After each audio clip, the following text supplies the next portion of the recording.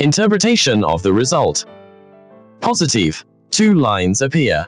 One colored line appear at the control region, and another colored line appears at the test region. Both line can be seen very clear. Weak positive. Two lines appear. One colored line appear at the control region, and another colored line appears at the test region with very light color. Negative. Only one line appear at the control region, and no line appears at the test region.